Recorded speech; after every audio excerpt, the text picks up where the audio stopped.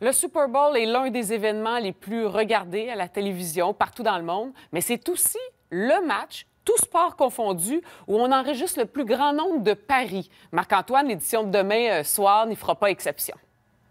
D'autant plus que ce Super Bowl 58 est présenté à Las Vegas, dans la ville euh, du vice, là où on aime tout faire dans l'excès, évidemment. Et cette destination, elle n'a pas été laissée au hasard. Cette année, un coup de marketing exceptionnel pour les différentes maisons de Paris. Ici, dans la province, euh, l'Auto-Québec, c'est l'événement le plus lucratif, l'événement sportif le plus lucratif de l'année, année après année. On parle d'1,3 million de dollars qui ont été générés par les paris l'année dernière, une mise moyenne d'environ 14 dollars. Et on s'attend à peu près au même chiffre cette année. C'est à peu près possible de miser sur tout, Véronique, euh, que ce soit le nombre de verges obtenues par la course ou encore le détenteur du premier toucher du match. Il y a certains paris qui sont un peu plus insolites, dont euh, cette frénésie liée euh, à la venue de Taylor Swift cette année en couple avec Travis Kelsey, l'un des meilleurs joueurs des Chiefs de Kansas City. Est-ce que Travis Kelsey demandera en mariage Taylor Swift? Quelle couleur de chandail portera-t-elle cette année? Là-dessus, écoutons euh, Renaud Dugas, il est porte-parole euh, de la Société d'État L'Auto-Québec. En fait, c'est le plus grand événement sportif en Amérique du Nord. Alors, c'est certain qu'à l'Auto-Québec, pour ce qui est des paris sportifs, c'est notre plus gros événement de l'année, effectivement.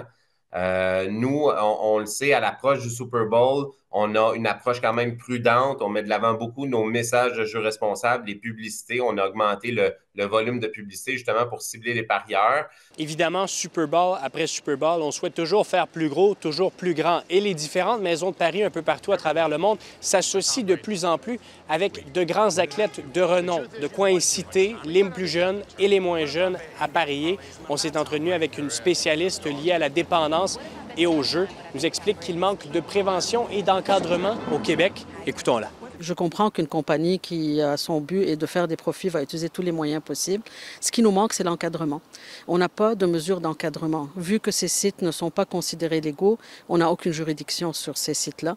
Et si on, a, on décide d'avoir de, une certaine, de les légaliser entre guillemets ou de leur permettre d'être des, des, corporations qui opèrent légalement, ben, il faut avoir un encadrement très strict, très sévère avec un, un, un régulateur qui, qui a de la force d'imposer des choses, de protéger la population. De l'autre côté de la frontière, c'est une industrie encore plus lucrative. On s'attend à ce que 68 millions d'Américains parient sur ce match présenté demain entre les 49ers et les Chiefs, ce qui pourrait totaliser 23 milliards de dollars.